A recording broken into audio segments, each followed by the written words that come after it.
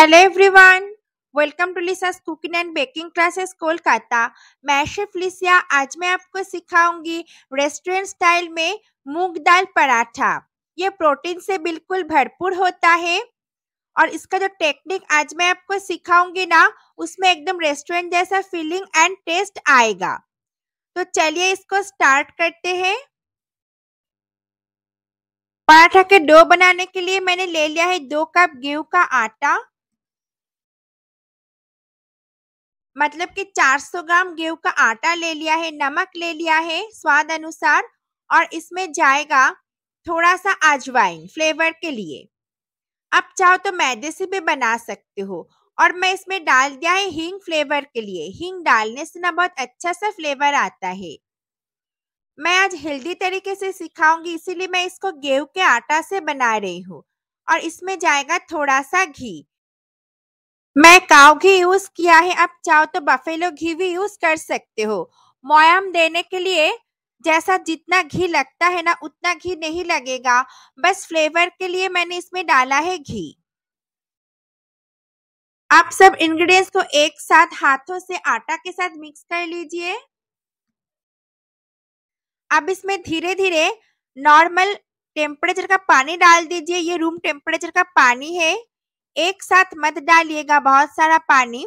धीरे धीरे डालते जाइए और एक हाथ से इसको ऐसे मसलते जाइए तो ये अच्छे से प्रॉपर डो बनेगा। जैसे हम एवरीडे के लिए, रोटी के लिए डो बनाते ना सेम प्रोसेस से आपको डो बनाना पड़ेगा। पानी डाल के आपको पहले एक सेमी सॉफ्ट डो बनाना पड़ेगा। बहुत ज़्यादा नरम डो नहीं बनाना है। तो देखिए, इसका कंसिस्टेंसी मैं आपको दिखा रही हूँ। ये बहुत नरम डो नहीं है मीडियम सॉफ्ट है। अब मैं इसको कवर करके रूम टेम्परेचर में छोड़ दूँगी हाफ़ एन आवर के लिए तो ये और भी मॉइस्ट हो जाएगा। तो देखिए हाफ़ एन आवर के बाद ये और भी मॉइस्ट हो चुका है। अब मैं इसको हाथों से फिर से इसको ऐसे करके स्मैश करूँगी। तो देखिए, पहले से ये ज़्यादा सॉफ्ट हो चुका है।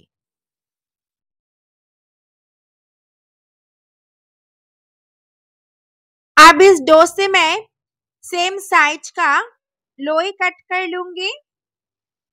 साइज़ आपके ऊपर डिपेंड करता है। आप चाहो तो छोटा या तो मीडियम साइज़ का बना सकते हो। मैं मीडियम साइज़ का बॉल कट कर रही हूँ। तो मेरा जितना सा डो था ना, उसमें मीडियम साइज़ का पाँच बॉल इक्वली हो जाता है। मैंने मीडियम साइज़ का बॉल बनाया है, इसमें पाँच अच्छे से बन जाता है।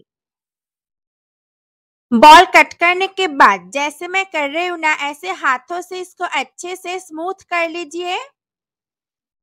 जैसे प्रोसेस से मैं कर रही हूँ ना सेम प्रोसेस से आपको भी फॉलो करके बनाना पड़ेगा।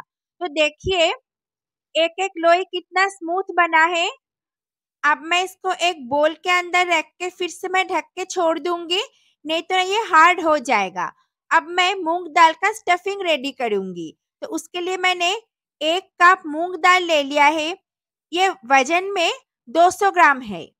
अब इसको मैं मीडियम टू स्लो फ्लेम में भून लूँगी अच्छे से। इसका कलर चेंज नहीं करना है। बस इसको अच्छे से भूनना पड़ेगा। मेरा जितना क्वांटिटी का दाल है ना, ये भूनने में 10 मिनट लगा है मुझे। मीडियम टू स्लो फ्लेम रखना है इसी कंडीशन में। तो दाल अच्छे से भून चुका है, अब मैं फ्लेम को बंद कर दिया है और नॉर्मल टेम्परेचर का पानी से इसको दो बार वॉश कर लीजिए तो दाल के अंदर में जो पाउडर रहता है ना, वो निकल जाएगा। तो दो बार मैंने दाल को वॉश कर लिया है अच्छे से। अब एक कुकर ले लीजिए और कुकर के अंदर में दाल को डाल दीजिए। और इसमें एक कप पानी डाल दीजिए। मतलब कि जितना सा मैंने दाल ले लिया था, उतना ही पानी डालना है। और इसमें थोड़ा सा मैं नमक डाल दिया है। नमक को अच्छे से मिक्स कर लीजिए। अब ढक्कन लगा के फुल फ्लेम में मतलब कि हाई फ्लेम में एक सीटी लगा के इसको बंद कर दीजिए। जब सीटी अपने आप निकल जाएगा, तब ढक्कन को ओपन कीजिए। तो देखिए तो देखिए, दाल 80 परसेंट तक कुक हो चुका है और ये नरम हो चुका है। इसको फुल बॉयल नहीं करना है। देखिए, मैं हाथों से इसको दिखा रही हूँ। ये इतना सा नरम हो चुका है। लेकिन पूरा एकदम इसको बॉयल नहीं करना है। अब मैं कढ़ाई ले लूँगी। कढ़ाई में मैं थोड़ा सा घी डाल दिया है। घी जब मीडियम हीट हो जाएगा, तब इसमें फ्लेवर के लिए थोड़ा सा हींग डाल दीजिए। अदरक को मैंने ग्रेट करके डाल दिया है। अब फ्लेम को एकदम स्लो कर दीजिए और एक से डेढ़ मिनट तक इसको भून लीजिए। जब अदरक के अंदर से कच्चापन चला जाएगा, तब मैं इसमें डाल दूँगी। बॉयल किया हुआ दाल।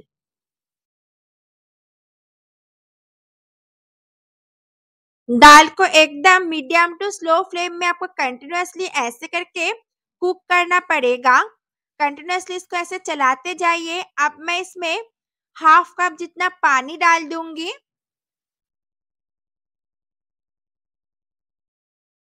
अब इसमें ऐड करना है रोस्टेड जीरा पाउडर, रोस्टेड धनिया पाउडर, हल्दी powder and red chilli powder. मैंने रोस्टेड धनिया पाउडर एंड जीरा पाउडर यूज़ किया है। रोस्टेड मसाला डालने से ना फ्लेवर एंड टेस्ट अच्छा आता है। आप भी ये रोस्टेड डालने का कोशिश कीजिए। अगर आपको फ्लेम ज़्यादा लगे मतलब कि कढ़ाई आपको ज़्यादा गर्म लगे, ऐसा अगर आपको लगेगा तो फ्लेम को एकदम स्लो कर दीजिए। तब तक दाल को कुक करना पड़ेगा, जब तक ये गाढ़ा ना बन जाए। तो देखिए कुक करते करते दाल पहले से गाढ़ा हो चुका है और इसका कलर भी थोड़ा सा चेंज हो गया है। अब मैं इसमें डाल दूँगी, गरम मसाला पाउडर, आमचूर पाउडर। अगर आपके पास आमचूर पाउडर नहीं है तो आप चाट मसाला या तो नींबू का रस भी डाल सकते हो। और इसमें थोड़ा सा शुगर भी डाला है एंड में। शुगर डालने से ना टेस्ट बढ़ता है। टेस्ट का बैलेंस होता है। अब मैं थोड़ा सा इसमें डाल दिया है कसूरी मेथी। कसूरी मेथी डालने से इसका फ्लेवर बहुत बढ़िया से आता है। ये सब टिप्स रेस्टोरेंट में फॉलो करके बनाते हैं, इसीलिए रेस्टोरेंट का पराठा, घर का पराठा से अलग होता है। तो ये सब टिप्स मैं आपके साथ आज शेयर कर दिया है तो ऐसे ही आप घर में भी बनाइएगा तो आपका भी पराठा बिल्कुल रेस्टोरेंट जैसा ही बनेगा। तो देखिए, दाल अभी बिल्कुल कुक हो चुका है हंड्रेड परसेंट, लेकिन ये दाल बिल्कुल भी गला नहीं है। अगर पूरा गल जाएगा ना दाल तो आपका टेस्ट अच्छा नहीं बनेगा पराठा का। दाल अभी भी दिख रहा है, देखिए एक एक दाना दाल का दिख रहा है। अब मैं इसका एंड में एकदम डाल दूँगी धनिया फ्लेवर के लिए। धनिया डाल के फ्लेम को बंद कर दीजिए। जब ऐसे गाढ़ा हो जाएगा दाल तो फ्लेम को बंद करके इसको ठंडा कर लीजिए रूम टेम्परेचर में या तो फ़ैन के नीचे। तो देखिए, ठंडा होने के बाद ये एकदम डो फॉर्म में आ चुका है। हमें ऐसा ही कंसिस्टेंसी चाहिए। बिल्कुल भी गीला वाला स्टफिंग नहीं चलेगा तो पराठा अच्छा नहीं बनेगा। अब मैं इस दाल के डो से बॉल बना लूँगी। नींबू के साइज़ से थोड़ा सा बड़ा बॉल मैंने कट कर लिया है तो ऐसे स्टफिंग का बॉल बना के आपको पहले रेडी करना पड़ेगा।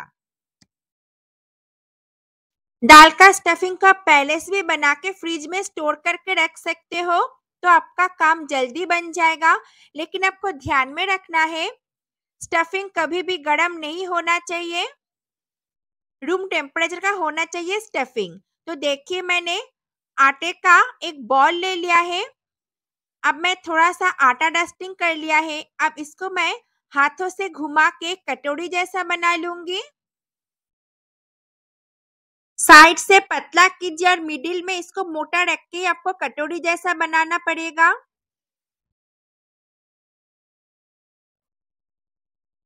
अब मैं दाल का जो स्टफिंग का बॉल है उसको मिडिल में रख दीजिए।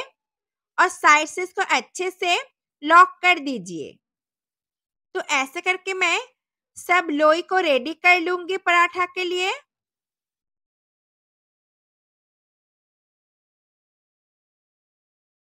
स्टफिंग डालने के बाद ऐसे करके हाथों से हल्का हल्का प्रेस कर दीजिए। और थोड़ा सा इसमें आटा लगा के ही आपको रोल करना पड़ेगा। पहले हाथों से इसको चपटा कर लीजिए।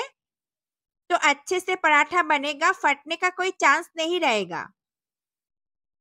थोड़ा सा आटा डस्टिंग कर लीजिए। अब हल्के हाथों से इसको रोल कर लीजिए। तो देखिए, बहुत प्रेशर देके इसको नहीं करना है। मिडिल में हल्का हल्का आपको दाल दिख रहा है स्टफिंग, लेकिन ये फटा नहीं है, ऐसा दिखेगा मिडिल से। लेकिन एक भी पराठा नहीं फटेगा।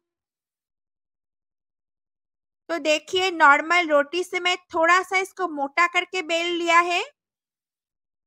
लेकिन बहुत मोटा करके नहीं बेलना है। नॉर्मल रोटी से थोड़ा सा मैंने इसको मोटा रखा है। तो ऐसे करके मैं सब पराठा पहले बना लूँगी। तो और एक पराठा को मैं आपको दिखा रही हूँ। सेम प्रोसेस फॉलो करके आपको एक एक पराठा बना के रेडी करके रखना है। तो हमारे पास बहुत सारा ऑनलाइन में बेकिंग का कुकिंग का veg non veg and sweets का क्लासेस है। तो अगर आपको वो क्लास ज्वाइन करना है तो मेरे से कांटेक्ट कीजिए। कोई भी ऑनलाइन क्लास ज्वाइन करने के बाद लाइफ टाइम के लिए वीडियो एंड रेसिपी दिया जाता है। तो आप घर में बैठ के वर्ल्ड में कहीं से भी कभी भी हमारा कोई भी ऑनलाइन क्लास ज्वाइन कर सकते हो। और ऐसा ही रेस्टोरेंट जैसा खाना आप घर में बहुत ही आसानी से कम खर्च में बना सकते हो और खुद का फ़ूड बिज़नेस भी स्टार्ट कर सकते हो। क्लास के साथ साथ बहुत सारा बिज़नेस टिप्स भी मैं शेयर करती हूँ हर एक क्लास में। तो आपको आगे जाके बिज़नेस करने में कोई प्रॉब्लम नहीं होगा। कैसे आप घर में बैठ के भी बिज़नेस चला सकते हो या तो अगर आपका कैफ़े है या तो रेस्टोरेंट है तो एक एक कोर्स करने के बाद वो सब बिज़नेस आइडिया आपको मिल जाएगा। कैसे फ़ूड का शेल्फ लाइफ बढ़ाना होता है, कैसे उसको स्टोरिंग करना होता है, कैसे रेस्टोरेंट में काम किया जाता है, हर एक क्लास में मैं पैकेजिंग के साथ कोर्स का डिटेल मैं सिखाती हूँ। तो ऐसे करके हर एक पराठे को मैंने रेडी कर लिया है और एक प्लेट के ऊपर मैं थोड़ा सा आटा डस्टिंग करके एक के ऊपर एक रखती गई हूँ और एक प्लेट से इसको ढक के रख दीजिए। देखिए, ऐसे करके रखना है। पहले सब पराठा को रेडी कर लीजिए। तो ये देखिए एक एक पराठा के ऊपर में मैं थोड़ा थोड़ा आटा डस्टिंग करके प्लेट से ढक के पहले रेडी करके रख दिया है। अब मैं एक एक करके पराठा को सेकूँगी।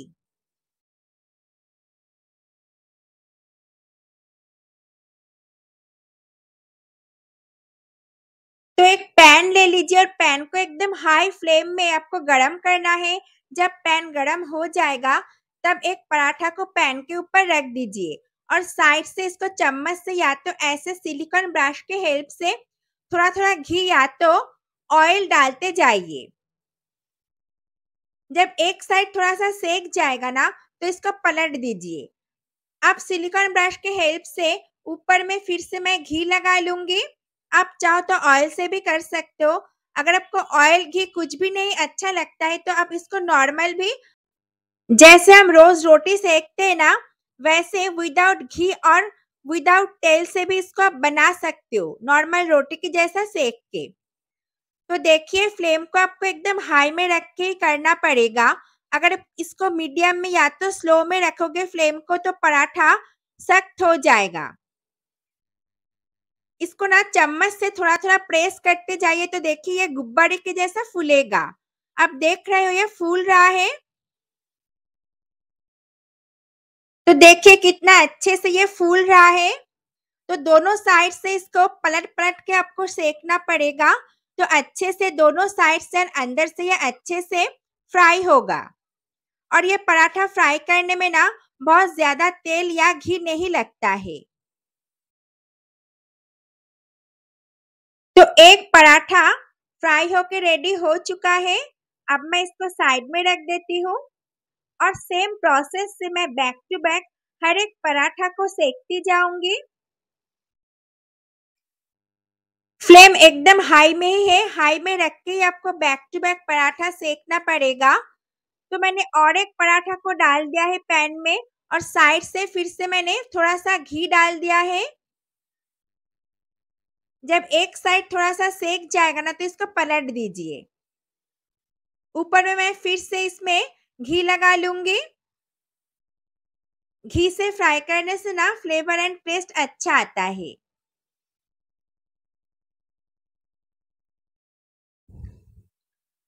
तो ऐसे थोड़ा थोड़ा घी लगाते जाइए और इसको सेकते जाइए हाई फ्लेम में।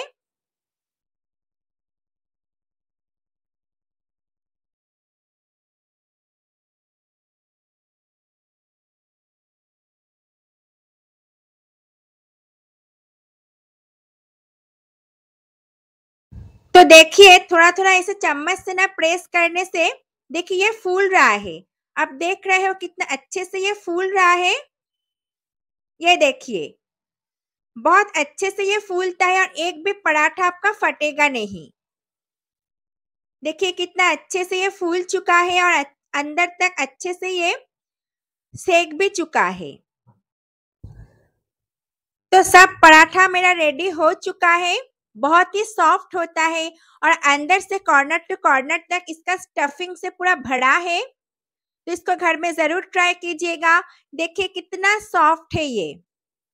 इसको आप ब्रेकफास्ट में खा सकते हो लंच में खा सकते हो डिनर में खा सकते हो टिफ़िन में डाल सकते हो ऑफ़िस टिफ़िन या तो स्कूल टिफ़िन में भी इसको यूज़ कर सकते हो, या तो ट्रेवलिंग में इसको साथ में लेके जा सकते हो। बहुत ही टेस्टी एंड हेल्दी होता है ये पराठा। तो देखिए स्टफिंग अंदर में कितना भरा हुआ है। वीडियो को अच्छा लगे तो शेयर कीजिए और सब्सक्राइब करना मत भूलिएगा। आज के लिए इतना ही। Bye bye and take care